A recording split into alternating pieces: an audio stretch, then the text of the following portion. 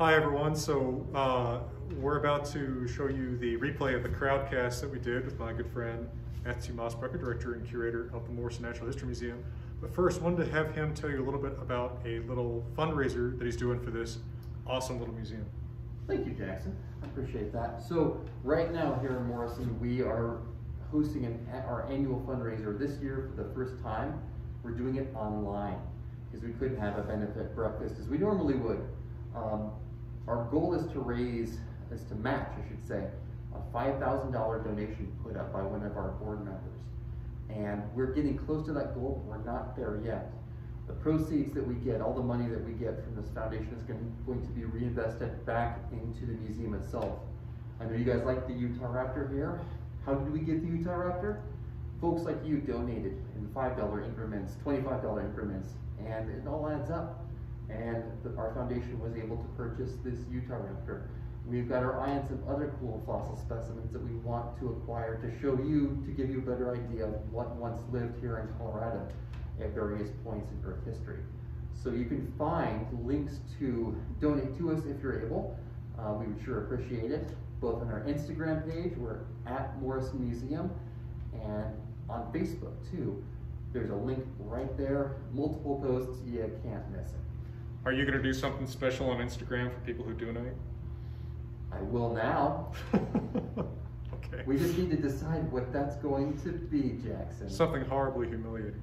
Yeah, it'll be an autographed picture of Dr. Jackson Crawford. Uh, okay. How do you feel about that? I don't know. uh, we'll work it out. We'll um, figure something embarrassing. So, so here's the crowdcast. Uh, we had some technical difficulties with Wi-Fi and such, so bear with me. I tried to edit through it, uh, but you're going to see some spots where the audio and video are going to uh, be a little bit patchier. All right. Thanks, Patreon, and all the best. Thank you. My name is Matthew Mossbrucker, as you probably know from the bylines here. I direct and curate the Morrison Natural History Museum in Morrison, Colorado. My job here is to take care of the dinosaurs and show them off to any curious brain that comes through our doors, along with uh, the best crew in museums to help out in that mission. Uh, we try to dig here locally, uh, exploiting the local Jurassic rocks where the first Stegosaurus and Apatosaurus were found back in 1877. And I'm also a curator at the Glenrock Paleon Museum up in Glenrock, Wyoming, where we dig in the latest Cretaceous rocks, so T-Rex and Triceratops habitat. So if you guys have any questions about Jurassic dinosaurs, the famous Stegosaurus or Apatosaurus, or T-Rex or Triceratops from 80 million years later at the end of the Cretaceous, I'm your man. And I'm sorry about that. So let's go ahead and kick it off with some Q&A hit me with your burning dinosaur questions, and I can prescribe some intellectual antibiotics. All right, Vicky is asking, what is your most exciting excavation adventure? Okay, that's interesting. Uh, anytime we find something in the field, it doesn't matter if it's a common fossil or something rare, something no human eyes have ever seen before. So that first moment of, of holding something new to you intellectually in your hand is, is always a, a sublime moment, I think. Uh, whether it's a type of fossil that you've seen hundreds of examples of, or something that you don't know what it is because it may not yet be known. Um, so that's awfully interesting. And that happens every time I go out and, and dig. I've had a lot of interesting experiences with um, boulders nearly falling on my head, um, Indiana Jones style. Uh, it is not as fun as you might think it would be in the movies. I've had interesting interactions with um, substance abusing landowners and uh, threats of, of, violence, not towards me, but for former President Lyndon Baines Johnson. Um, I'm not that old. He was long dead by the time that happened. But uh, yeah, um, every time we go out in the field, we find something new and interesting, and, and it makes it worthwhile every time. So David G is asking, what is behind you? Well, beside uh, the good Dr. Crawford, I have a dinosaur known as Utah Raptor. And Utah Raptor is the heaviest raptor dinosaur living here in Western North America around 125 million years ago. It is found in the Great state of Utah, although we have rocks here in Morrison at about the same age of deposition. So it's an animal that could potentially be found here in the Front Range of Colorado. I just haven't found it yet. Um, biggest question is, what is it doing? Why is it biting itself? Now, because we have great fossil evidence from other related raptor type dinosaurs that these beasts indeed had feathers, both for display on the arms, legs, and maybe tail, uh, but also for thermoregulation to insulate their bodies from fluctuating temperatures outside. Um, animals today, birds that have feathers, they do require a bit of maintenance in the form of preening, both to spread oil onto the the feathers from a gland located near the cloaca, which is here, and but also just to get parasites off of them, clean them if they're dirty. Feathers get um, disheveled, disorganized, and and the active preening puts them back into place. So we have a Utah raptor preening long gone um, display feathers from its forelimb. Okay, tell us about dinosaur feathers. How many had them? That's coming from Cameron. That's a great question, Cameron. Uh, the best confirmed feathers that we have from dinosaurs are from relatives of animals like Utahraptor. Um, and as a group, we call these animals theropods. These are primarily carnivorous dinosaurs, although there are examples of herbivorous dinosaurs, like the Therizinosaurids, specifically Beipiaosaurus, that had feathers, shag-like feathers on its body. Um, there are little beasts that had feathers, like Sinosauropteryx um, from China, and then there are um, pretty big, almost Allosaurus, um, darn near 30 foot long carnivorous dinosaurs that had shag-like feathers on their body. Um, two that's, um, oh my gosh, I'm drawing a blank on the animal's name. Oh well, it existed. It's Aptian age, mid-Cretaceous. If I talk more about it, I'll probably remember its name, Yutyrannus. Um, there is some evidence that cousins of dinosaurs like Triceratops had a prototype feather on its body. Um, animals like Psittacosaurus, which looks like the three-horned dinosaur Triceratops, but is much, much, much, much, much smaller, hornless and frillless. It is the ancestor of dinosaurs like Triceratops. And it did have bristle-like protofeathers um, ascending from its rump when it comes to any sort of integument, um, so any covering, whether it be scale or feather on dinosaurs, uh, or even any fleshy structures like a comb or a wattle or a dewlap, there are still fossils that are coming out of the ground that are going to help us to more accurately see a dinosaur's uh, flash, its flare, um, that we don't know about quite yet. Lots and lots of examples of soft tissue and surprising structures. Uh, for example, on the uh, duck-billed dinosaur Edmontosaurus, this is a, a school bus-sized herbivorous dinosaur from the time of T-Rex and Triceratops. Edmontosaurus annectens, one specific specimen has a wonderful fleshy bump, almost like a cone on the top of its head. Now, note whether that is specific to males or females, we don't know because our sample size is one. Um, or if other species that are similar to Edmontosaurus, like Titan, had a structure like that too, we don't know. Um, but one thing's for sure, um, careful fossil preparation, um, which is getting better and better with time and practice and the use of microscopy, we will begin to find more and more surprising soft tissue structures on dinosaurs into the future. So stay tuned it seems like Jackson and I have a natural chemistry. Um, how did that start? I think you That's need. a creepy question. It is, it is. And I, I'm going to allow you to answer that. What, so, but let's, let's switch. Why don't you talk about the first time you came and visited us at the museum?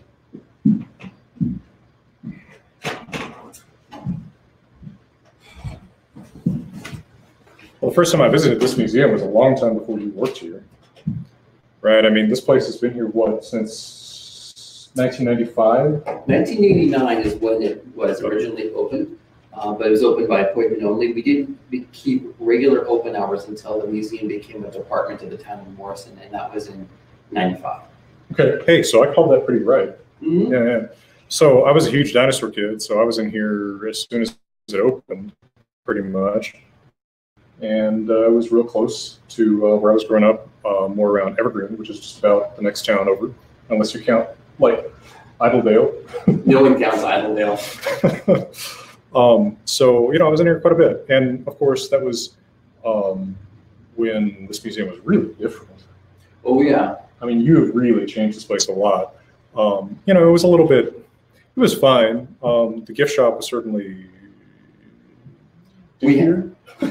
We, we had a cabinet, remember the, the bookshelves that had sweatshirts and a couple of fossil casts in it? Yeah. Yeah, it was a locked cabinet. That was our gift shop when we first started. there were also little bottles that were called fossil water. Oh, yeah. um, which you know I always had an issue with that because isn't all water hypothetically as old as all other water? It is. I mean, we, we, as far as water is concerned, we're in more or less a closed system. You would think. Yeah. Um, anyway, so we even though we grew up, we're close to the same age, growing up pretty close to each other, both being real into to dinosaurs. We didn't actually meet each other until we were adults.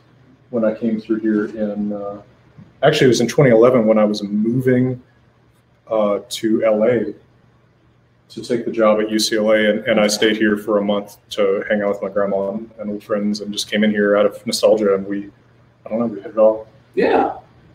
Were there any true vegetarian dinosaurs? Absolutely. Um, and when you look at dinosaur diet, you don't start with the teeth. I know that sounds counterintuitive, particularly if you're used to looking at modern mammals.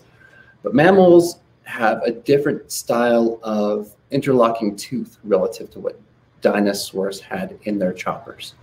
Even though the Utah raptor behind me clearly has some spiky teeth, suggesting it might eat meat, um, as it turns out, Triceratops, which we have one across the room staring at me, it's eyeballing me. That dinosaur's teeth, when they are worn down, um, are just as sharp as a Utah raptor tooth individually. Um, Triceratops, for example, this is true of all dinosaurs, have a never-ending supply of teeth in their mouth. So every time Triceratops bites down, its teeth grind against one another, and there's a thicker patch of enamel, the harder covering of tooth on one side, very thin on the other. So as they occlude, as they grind against each other, they are sharpening, and not just on a one-on-one scale. They're part of a, a, a lattice of teeth that are studded throughout the jaws. So as they grind together, they're forming a continuous cutting ridge in the jaws. Um, if you put your finger into the chewing mouth of a Triceratops, it would come off. It would it would come off rapidly. So Triceratops has fairly sharp teeth. Even Apatosaurus, whose head is only about this big for an 80,000 pound dinosaur, its unerupted pencil-like teeth are fairly pointy. Um, and when they wear down, they do have a bit of a sharp tip on the leading edge. So the idea of flat teeth being an indicator of being a, a plant eater, as you would see with mammals or us, doesn't work with dinosaurs. Um, so what does? How can you tell that a dinosaur was a true vegetarian? So instead of looking at the teeth, which can be a bit misleading, we look at these bones right here, these slat-like bones, the ribs of the chest. These dorsal ribs will give you an idea of what an animal ate because if you look at the chest of, say, a raptor or a T-Rex, the chest is fairly narrow. And that's because it doesn't take a lot of internal guts, that machinery to break down food in order to extract all the nutrients out of meat. They have a narrow chest. Carnivores today, dogs or cats, built the same way. When you look at a dinosaur like Triceratops, the chest is as wide side to side as it is deep head to tail. It's a huge fermenting vat. You look at the chest of an Apatosaurus, it's the same thing. They have these big mobile fermenting vats of, of guts that are capable of breaking down the tough cellulose in plants. It takes a lot more energy, specialized bacteria, flora, and more linear feet of intestine in order to break down plants, extract all the nutrients out of them. So if you really want to understand what a dinosaur ate, you want to look at the rib cage itself. So when I look at a Triceratops, I see a pure plant eater. Um, but when I look at an animal like Utah raptor behind me, it's carnivore. Great question. Okay, Matt still says you might have missed one. Um, Okay. Mr. Kepler asked about um, what dinosaurs in the region have feathers. Oh, what dinosaurs in, here in Colorado have feathers? Uh, yeah, I guess it's, it's the version of question says the region. So Okay. Well, as it turns out, in our area, we do have tracks of raptors from our local early, uh, early late Cretaceous uh, Dakota sandstone, and that that animal is a raptor. We know that raptors had feathers covering their bodies, both for thermoregulatory purposes, so little filament-like feathers on their bodies, and proper, almost flight-like feathers on their arms and legs, and sometimes tail too. Um, we don't have any bony remains from that particular raptor, so it's a great question as to whether or not um, how it would, how the plumage would have been arranged on that body. We just have the representation of that feathered dinosaur group here. Um, we have T-Rex in the area. T-Rex is an animal that, if you look at modern paleo art, you see an awful lot of feathered reconstructions, big shaggy T-Rexes. Problem is, the animal's living in something like, well, the bayou country of Louisiana today. Uh, hot, wet um, conditions. I, and I don't think that you would see a lot of um, insulation on a dinosaur as big as a T-Rex. Because it has an issue then with thermal inertia, the, the heat from the core of its body dissipating to the surface. The dinosaur is in danger of overheating if it has too much of an insulatory cover on it.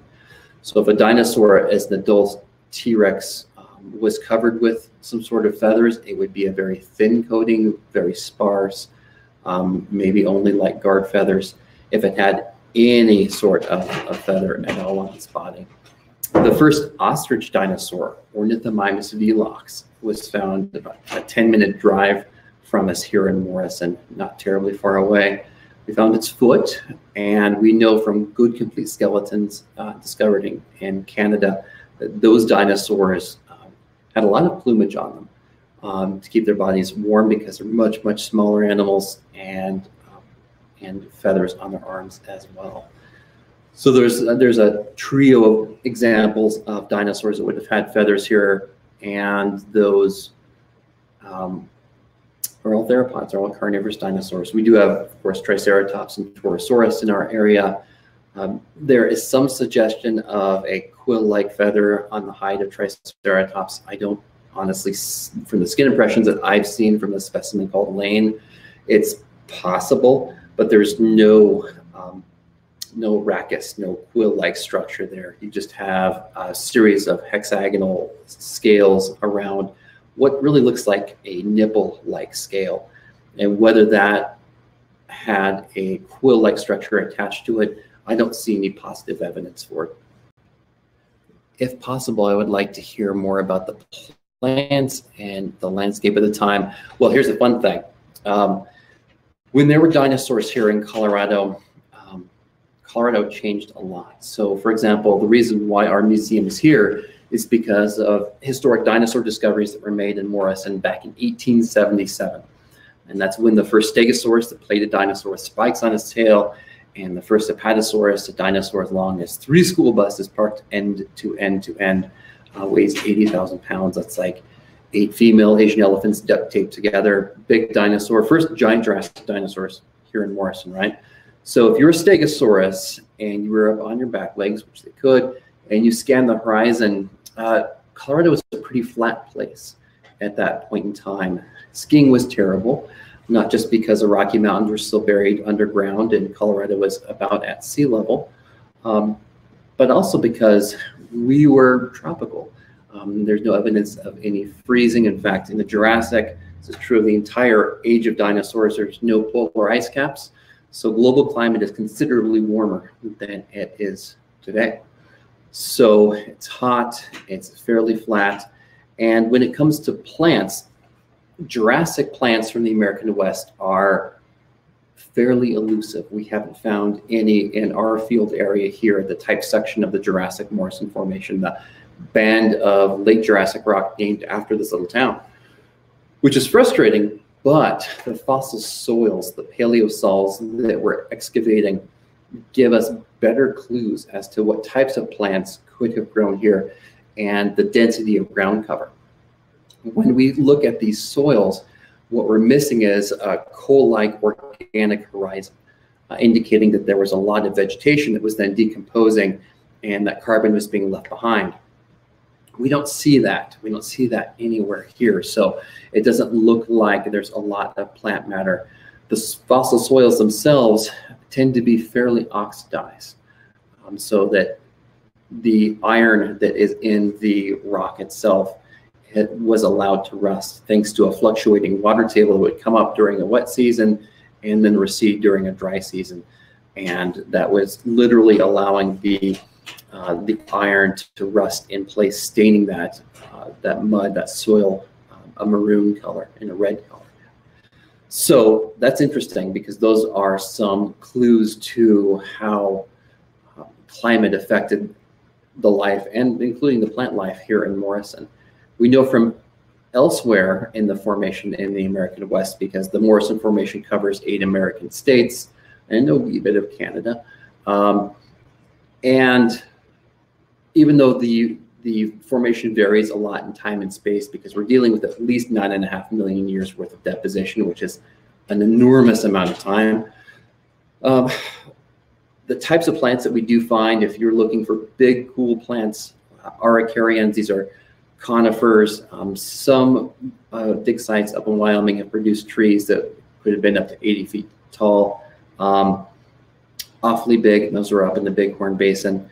And uh, they're related to um, Norfolk Island pine today. So during the holidays, if things were normal and you could safely go to the uh, the hardware store and pick up one of those soft, glittery pine tree looking things that people use as a holiday ornament, that's Jurassic Apatosaurus cow, um, as it turns out.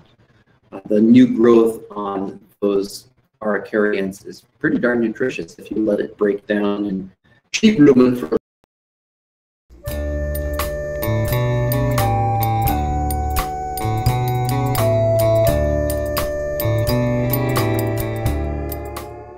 Thank you for being patient. We, we appreciate that. Um, dinosaur fossils in Scandinavia. I'm aware of some Paleozoic fossils, so fossils of, of animals before the age of dinosaurs. Dinosaurs themselves are not present in Scandinavia. Um, and unfortunately, um, or fortunately, uh, there are other, let's see, are ice age animals in Scandinavia uh, that have been found. Uh, your typical Northern European beasts like woolly mammoth, woolly rhino, um, those sorts of animals. But when it comes to dinosaurs, unfortunately, that part of the fossil record is missing in your neck of the woods. So, not to be a, a Debbie Downer, but um, it is what it is. Maybe if we keep digging, we'll locate some uh, mismapped rocks and find some dinosaurs. All right, John's asking, what do you think personally is the best case we have for how dinosaurs went from using feathers uh, for uh, aforementioned reasons to flight, running and jumping, gliding from trees, etc. Uh, it's interesting because flight is something funny because flight evolved in dinosaurs a couple of times. You have the Scansoriopterygids, animals like Yi, Y-I, um, which is a raptor-like animal that had a bat-like membrane um, anchored by its third digit this finger here. And even though it looks maybe like a, a pterosaur a little bit um, in the wing structure, this animal, uh, Geosternbergia behind me, um, it's an independent flight. Um, it's an independent evolution of flight, gliding from tree to tree, uh, most researchers think. Um, flying as we think of it with modern birds the way that little dinosaurs would have flown by flapping is different than the way in which a lot of uh, dinosaurs would have flown, especially the small-bodied ones, because they're missing some key anatomical attributes, including uh, sternum that is deeply keeled. Um, you're all, we're all about to carve Thanksgiving turkeys, um, hopefully by ourselves, so we're not spreading this virus everywhere. And dinosaurs don't have a deeply keeled sternum. In fact, in most dinosaurs, including in raptors, the, uh, the sternum hasn't coalesced into a singular unit. It's in two individual plates still, which is kind of the ancestral condition for animals like that. And they're also, even though Utahraptor does have the furcula um, clavicles that are fused into a wishbone. It's not spring-like, just as you would see with, with a turkey or a chicken. And those two features, the lack of uh, pectoralis muscle attachment for dinosaurs and the lack of a springy wishbone, actually helps us to separate from what it means to be a dinosaur to what it means to be um, a primitive or an ancestral bird. Um, when you look at certain um, dinosaurs, say like the little raptors, like a velociraptor, which was uh, feathered, we have uh, bumps on the ulni that correspond to uh, the development of long quilled feathers. Um, little animals like that, probably great climbers and jumping from bough to bough in a tree. Um, it's possible that uh, the display feathers that they had on their arms and legs and tail helped them to maneuver from one branch to another um, more adeptly than just simply allowing gravity to take over. Uh, some of the smallest raptors, like Microraptor or Pedopenna, for example, both have um, kind of a dinosaur biplane model where they have uh, feathers on flight feathers, asymmetrical feathers on their arms, their legs, and their tail. Um, those crow-sized and squirrel-sized dinosaurs uh, would have been adept at gliding not just from bough to bough in the tree, but from a tree limb on down to the ground onto the back of a helpless little victim. Um, that would have been quite scary if you're one of our little mammalian ancestors scurrying along the forest floor. So it seems like um, elevation trees might have had something to do with dinosaurs learning how to glide and maybe flapping a bit, um, but they would have become exhausted pretty darn quickly. Animals like Archaeopteryx, primitive bird, would have become exhausted very quickly without its keeled sternum and the rubbery, bouncy, spring-like wishbone. Um, but true birds, animals that did exist during the time of dinosaurs, so like Cretaceous here in North America, we have Ichthyornis, um, which looks a lot like a seabird, and it was a good flyer, but that animal itself was a true bird. Uh, so the ability to have the the anatomy, that machinery to allow for long sustained flight uh, versus uh, gliding or, or, flapping for short distances seems to separate um, proto-bird dinosaurs from true birds itself. Um, but I do think having a bit of elevation helps. I've never really bought into the, the ground up, the running hypothesis. And there's an idea there in which if you're running against, uh, running, uh, trying to catch prey or running away from, from something that you could maybe um, begin to flap your arms, uh, your, or your wings, and gain a little bit of altitude, a little bit of distance between you and uh, something that you are pursuing or uh, being pursued by might be it, but I think by and large, um, gravity helps in this endeavor, and trees are uh, uh, proto-bird's best ally. Let's see. Oh, in a second, uh, Dr. Crawford's raptor drawing by Dr. Robert Bakker is uh, kind of a channel favorite. So I was curious to know what kind of work he's done at the museum and what it's like working with him. Um, Bob likes to come in and invade our lab, the lab that uh, that is next to my office, uh, so that he can work on his own projects, whether it's for our museum or for other museums. And his favorite thing to do is really to teach, uh, chatting with volunteers and museum visitors, answering tough paleontological questions, and, and just being incredibly generous with his time. Working with him is like playing catch with Babe Ruth it, it's a sublime experience. I've known Bob since I was a kid. Um, and he is part of the reason why I'm sitting in this chair here today, opening some doors for me. Um, it, he's, he's a great guy. I'm, I, I have uh, nothing but respect and admiration for the man. He is, is everything that you would hope someone of his stature in academia would be. Someone that's kind and generous and and, and fiercely intelligent. Loves to argue.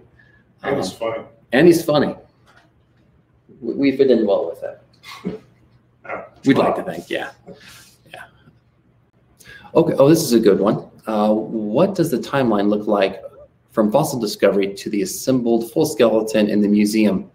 Usually, there isn't one because typically when we find fossils, they're not a part of a skeleton. Finding a skeleton of something like a Utahraptor um, is an unusual event. In fact, the animal behind me is a composite based upon multiple individuals from two different quarries in Utah.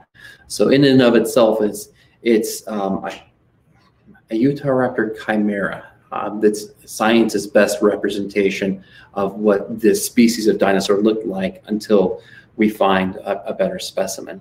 There are parts in this, uh, this mount that incorporate the holotype, the defining Utahraptor, the first one ever found, parts of the muzzle and the claw, for example. And then a lot of the other elements of the skeleton were from a completely separate quarry.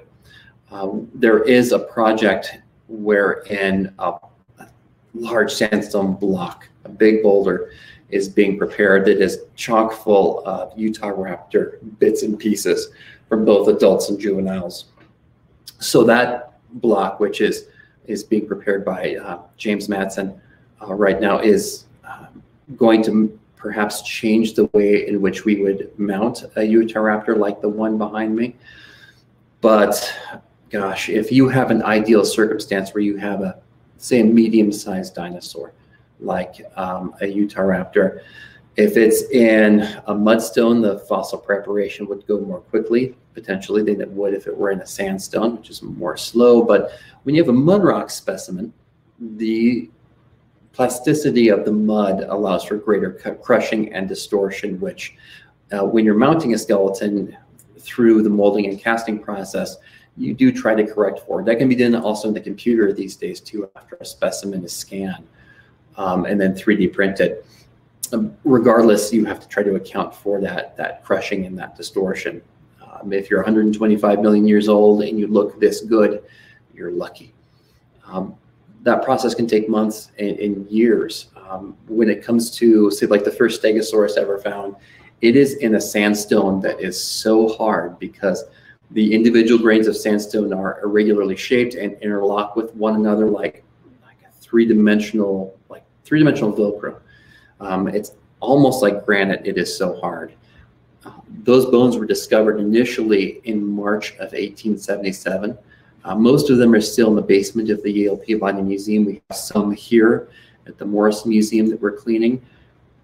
We're still cleaning them because the rock around the bone is so hard, the bone is so brittle that we have to move very slowly as to not shake apart and break the bone before we break the rock. Um, so it can take years, sometimes decades, to go from the field to the lab. Um, there's an adage in, in paleontology for for every every hour of collecting you do in the field, you have four hours in the lab. Um, in my experience, and maybe it's because we're using microscopes to clean our fossils and some delicate techniques so that we don't injure the fossils. And we're also probing, looking for microfossil material to help to round out the ecology of whatever animal we're working on. Um, we're looking more like 10 hours, 20 hours on average for every hour that we've spent out in, in the field. Um, sometimes more, especially in the case of Stegosaurus, you're on a, um, um, a decade to uh, basis. They, they only collected at Quarry 5 here in Morrison for a couple of weeks and it's been 142 years, and we're still the majority of that dinosaur is still in hard sandstone. Granted, it's not a full skeleton, but we do have most of the tail of the animal. Great question. Okay, so does the private market snatch up a lot of important specimens or is it regulated somehow?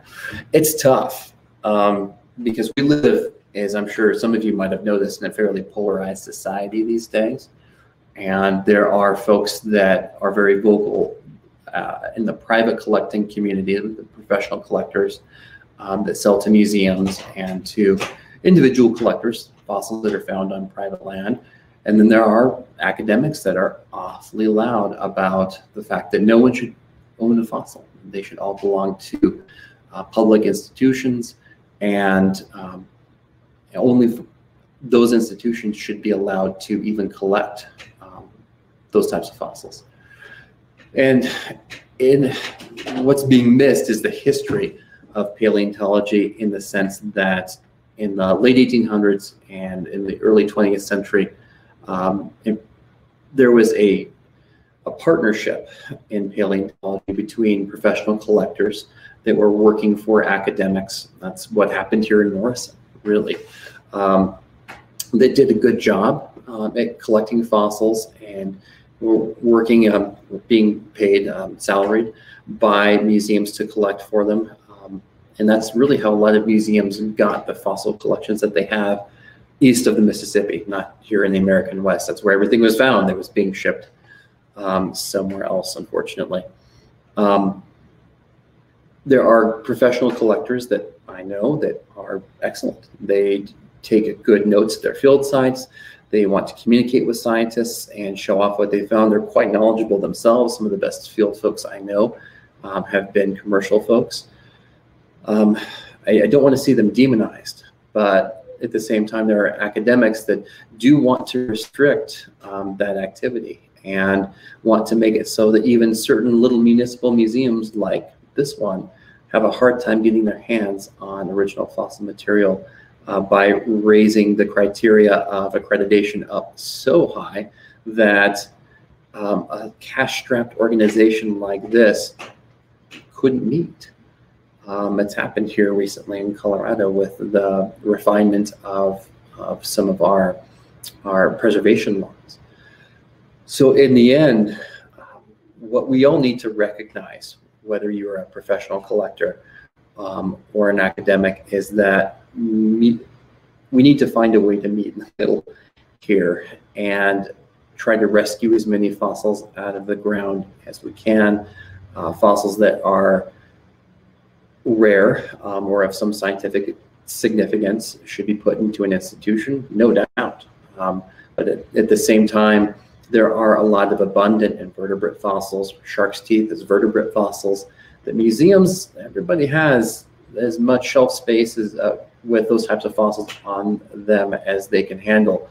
And having them in the possession of a private owner does no one any harm. In fact, could encourage people to respect the history of life on this planet even more. So hopefully um, there will be better days coming where folks on both sides of this divide can work more synergistically one with the other. Hey, uh, uh, Matt. Yeah. Uh, spell you missed one. Um, okay. Sam P asked, "What do you study to be a paleontologist?" Oh, geez. People come to paleontology through multiple routes. Um, some historically through geology, um, some through biology. That's becoming more and more common. And I used to think it was a really good thing, but it removes the context of, of, of Earth history and putting animals in ecological groups. So really, I think a foundation in geology uh, with a heavy, heavy, heavy dose of biology, uh, especially ecology, are really important. Statistics are invaluable. Um, if you're dealing with, particularly with uh, marine invertebrates, really useful. Mapping evolution with squids, for example, um, belemnites and baculites. Uh, but when it comes to dinosaurs like Stegosaurus armatus, our animal here from Morrison, Colorado, we have a sample size of you know two animals, which is statistically insignificant. So math doesn't apply. So our sample size is too small if you're trying to quantify something like individual variation or sexual dimorphism or anything like that. Um, some people come through, uh, come to paleontology through uh, museum studies programs, um, getting into collections management um, and museum education in particular, which is, dude, that is the most fun job you'll have as a museum educator. You just got to find a museum that treats their educators well. Um, and not all do. Myself excluded, of course. I mean, we, we, we love our, our educators. Um, and there are some people that come to paleontology that have no background in science. Like there's a, the most brilliant fossil preparator that I know is, his name is Mike Eklund. And he was a trained accountant that decided to build houses for a living um, because who wants to be an accountant? I mean, come on. And he took up fossil preparation and now he goes around building paleo labs with retired surgical and veterinary equipment, um, microscopes and lights. And he's constantly refining fossil preparation, making it uh, standard, he's trying to standardize it, make it more uh, more open and more honest when it comes to the amount of reconstruction that's that's done in a fossil. Um, they're a really good guy, and he's challenged every museum lab in this country to do a better job. Um, there are guys like, um, oh geez, who's at Harvard? Um, worked with Romer. I can't believe I'm blanking on his name. Mammal guy. The Tully Monster. The joke, the, the prank. Bryan Patterson. Sorry. I thought you'd know. Oh, well, I was trying to think. It's okay. He passed away before I was, I was around, so it's not like you you had the chance to meet him or I. He was a, a guy that started off. Bryan Patterson started off at the Field Museum, sweeping the floor of the Paleo Lab. Fell in love with mammals in particular. Um, stayed late. Um, taught himself anatomy. Became so invaluable to the lab that he was hired by the museum as as a curator and then with that group was stolen away by Harvard, where he became a professor, um, and that's where he ended, ended his career. Um, so he he Bryan Patterson started with basically a low-level entry job um, and his own curiosity to build himself a career in paleontology. If paleontology is right for you, um, the only way to tell, in my opinion, is to start off at your local museum as a volunteer and to see if this this lifestyle is something that you truly want and truly enjoy um, because it isn't for everyone. Um, there are not many jobs in paleontology. Um, and uh, to open all of the doors possible uh, i would recommend obtaining an advanced degree um, all the way through phd and doing a good postdoc these days somewhere it doesn't hurt either but it also does not guarantee you a job so um, it's it's a gamble. Um, but start off working with the museum as a volunteer. To be honest, I work with a lot of retirees that help me out either in the field or in the lab, and they are experiencing the life of a paleontologist and making a contribution to the field, but they have not had to deal with the politics or the stress of, of, of professional paleontology. And I, I sometimes wonder if they've done it the right way. Any other questions I've missed? Uh, yes, so says uh, Cameron P. asked, do we have any idea of the sounds particularly dinosaurs might have made? That's a good question. Dinosaurs, um, certain dinosaurs, say like duck-billed dinosaurs, have a tubular um, structure on the back of their heads that's hollow connected to both the throat and to the nasal cavities. And models both in the computer and physical models have been built to simulate the sounds um, of those animals. And it's it's a deep hooting, and forgive me, sounds like a kind of a farting sound. Um, but those are the best practical models. There are some structures, like in the nose of a triceratops, a big vacuity, um, which would make a good echo chamber if sound were to be made. Um, there was a big to do a couple of years ago about dinosaurs not being able to make sounds. Um, but we know from the descendants of dinosaur ancestors, modern day crocodilians, uh, that they're capable of making infrasound. And birds, of course, don't have a larynx, they have a biological equivalent called a syrinx, um, which functions in the same fashion. Uh, dinosaurs should have been able to make some sort of sound. Um, Plant eaters are probably making more advanced sounds based upon some of their the structures in their heads than meat eaters would. Uh, meat eaters might have been making more simple structures, uh, more sorry, more simple sounds, uh, roars, bellows, infrasound. Um, whereas plant eaters were making hoots and honks and and more complicated um, sounds, probably because many of them were were social, living in large groups, but certainly not all of them. Um, so yeah, um, I wish I had a better answer for that, but that's definitely a, a, frontier of science. I mean, there's only been like one paper ever written about dinosaur tongues. Um, so there's still a lot left to be learned. And a lot of colleagues, my colleagues these days, um, want to go to places that um, are not within their national boundaries to dig up fossils and bring them home to their home countries. Still, And uh, they're always looking for the next newsworthy dinosaur, the next big discovery, um, kind of chasing that old dragon. I hope that we're almost out of that phase of paleontology in which we can begin to focus more on the material that's already been collected and some of it's not even been prepared and start to, to slow down our, our pace of publication so that we can create more in-depth, more thoughtful studies of these animals in order to really sharpen the picture um, and turn up the resolution on the picture of dinosaurs because there's a lot of data out there already and locked in museum drawers. Thank you, folks. Stay healthy. Don't get the bug. So I thought I would uh, Wrap it up. wrap things up. Yeah, so I was such a huge dinosaur kid. I'm just going to mention this little story. Okay. Um, that uh, when I was 10 or 11, I actually found uh, Dr. Robert Bakker's phone number just like in the phone book. Right, he was living in Boulder at the time, and I used to just call him and ask him my dinosaur questions. I mean, I was that annoying kid. And finally, he said, "Well, why don't we meet up and go to this great Mexican restaurant and get some lunch one day?" And I'm like, "Yeah," you know. And so I said, "Yeah, let's do it." And then I went and I told my mom, and she freaked out that I was going to meet this strange man, right? And so she didn't even let me uh, ever call him again.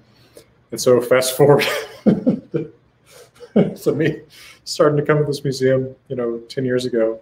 And uh, I met Dr. Bakker and I told him, you know, I was, I was that awful kid. And um, so the first time that I met him here in 2011, I did manage to buy him like a burger or something to make It's up a for good it. thing you did because he, he talked about that for years and years about how his kids stood him up at the Mexican restaurant. And Did all he? wanted to do was, no, he never mentioned that. I felt really bad I about it. know that's why I'm saying that. Yeah. I, I, I built you up and now I'm turning you back down again, Thank you. only for me to build you back up yet again later. You're a, you're an emotional tyrant. I'm not a good person. Well, folks, thank you for coming uh, to this crowdcast. Sorry for all the technical trouble that we had. Um, it was, you know, beyond our control, and we're very old men. So um, we will get this up uh, probably before too long. And um, thanks again, as always. Thanks for your Patreon support. And from beautiful Colorado, we're uh, both wishing you all the best.